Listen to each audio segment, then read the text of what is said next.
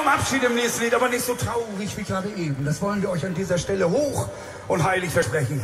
Dieses Lied ist vielmehr als ein Fest zu verstehen, das man dringendsterweise zu feiern hat, wenn man die Koffer packt und eine lange, lange, lange Reise vor sich hat und man nicht genau weiß, ob man sich in diesem Leben nochmal so wiedersieht.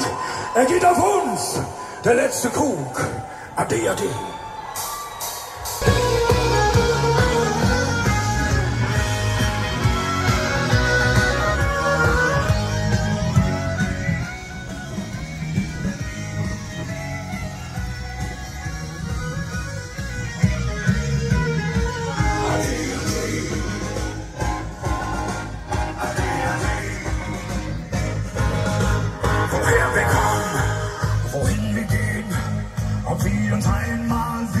singing.